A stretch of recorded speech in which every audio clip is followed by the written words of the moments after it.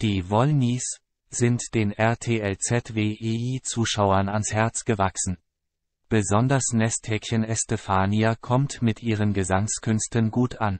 Bei ihrem letzten Auftritt wurde es emotional. Sie ist die wohl bekannteste Großfamilie Deutschlands und ihre Mitglieder sind mittlerweile richtige Fernsehstars. Die Wollnies. In der RTL-ZWEI-Sendung, Die Wollnies, eine schrecklich große Familie, ist auch Töchterchen Estefania, die zweitjüngste Tochter der XXL-Familie, zu sehen. Die TV-Bekanntheit hat ein Händchen für Musik und traut sich mit ihren eigenen Songs auf die Bühne. Die Wollnies, auf RTL ZWEI, TV-Liebling Estefania startet mit Gesangskarriere durch. Die Wollnies, Spross Estefania hatte schon mehrere Auftritte. Nicht immer nur gab es Lob für die 21-Jährige. Bei ihrem letzten Konzert wurde es plötzlich emotional.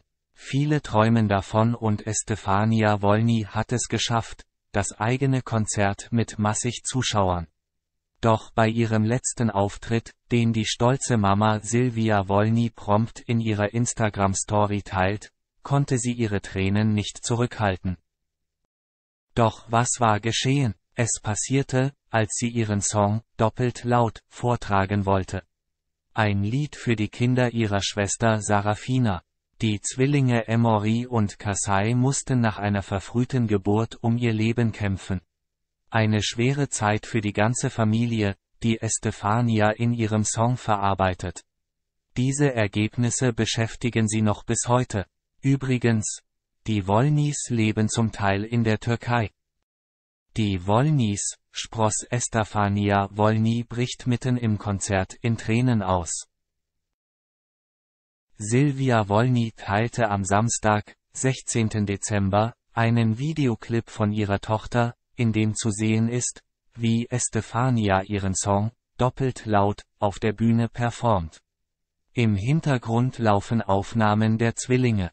Mitten im Song muss die 21-jährige Estefania plötzlich anfangen zu weinen. Der Song ist einfach zu emotional für die junge Künstlerin. Sie schlägt die Hände vor ihr Gesicht und braucht ein paar tiefe Atemzüge, um sich zu beruhigen. Die Fans scheint Estefanias Gefühlsausbruch nicht zu stören, im Gegenteil.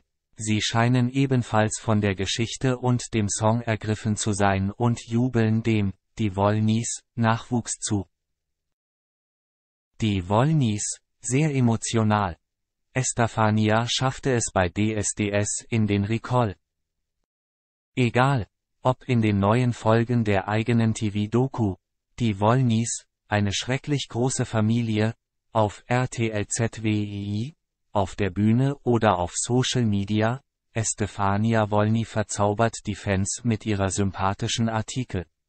Die Großfamilie weiß einfach, wie man die Fans unterhält. Das hat Estefania auch bei der Castingshow DSDS unter Beweis gestellt. So nahm, die Wollnies, Mitglied Estefania 2019 bei DSDS teil und stellte dort ihr Gesangstalent auf den Prüfstand.